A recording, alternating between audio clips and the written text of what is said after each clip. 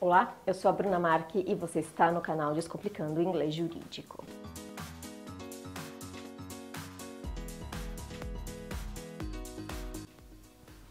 Bom, hoje a gente vai falar então sobre o Descomplicando para mim número 2. É uma pergunta da Adriana.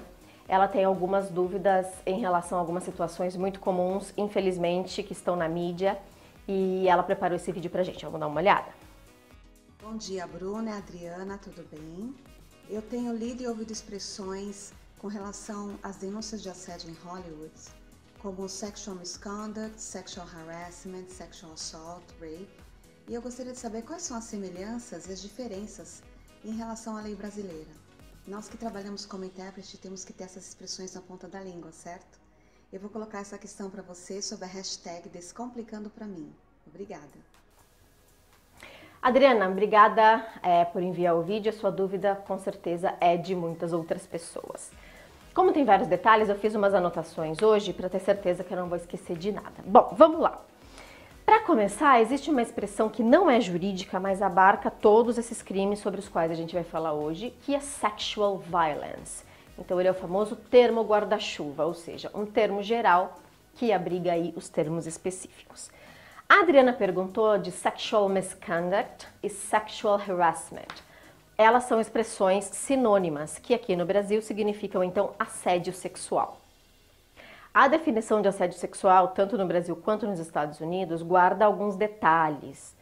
Então, por exemplo, só é considerado assédio sexual quando, é, quando há é, uma intimidação, ou seja, por exemplo, cantadas insistentes, é, ou até mesmo toques, enfim, não consentidos, obviamente, entre é, uma pessoa e o seu hierárquico, ou, ou seja, quem está acima dessa pessoa num cargo hierárquico.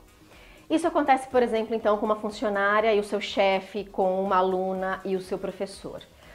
Quando é, isso acontece entre colegas da mesma hierarquia, já não é mais assédio sexual, tem que ser enquadrado de uma outra maneira. Então, sexual harassment, sexual misconduct, assédio sexual. Toma cuidado aqui então com a definição. Antes de prosseguir com as próximas expressões, eu tenho que lembrar o seguinte: aqui no Brasil a gente tem o Código Penal, que é único para todos os estados brasileiros.